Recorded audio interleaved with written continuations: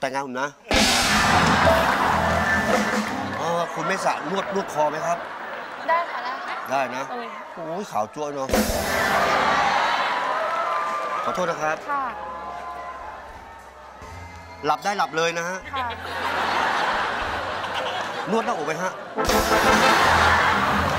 อย่าดีกว่าค่ะเดี๋ยวเดี๋ยวแฟนหนูโกรธ โอ้เหรอ